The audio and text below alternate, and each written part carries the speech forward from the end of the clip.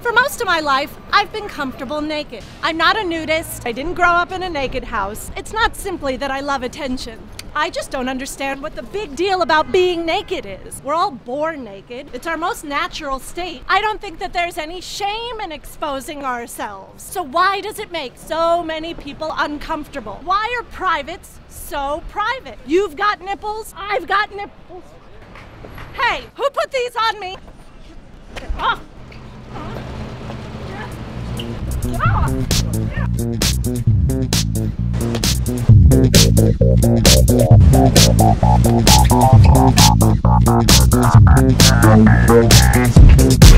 Don't